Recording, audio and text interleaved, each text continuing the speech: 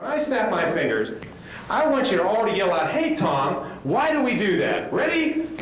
Hey, Tom, why do we do that? I don't know why we do that. Sometimes I do it myself. okay, another attention gaining device. You get people to yell at you.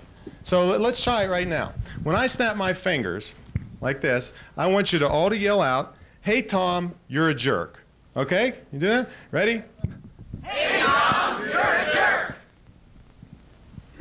Well, I guess you got that point. Biggest rise I get out of you all day. Right.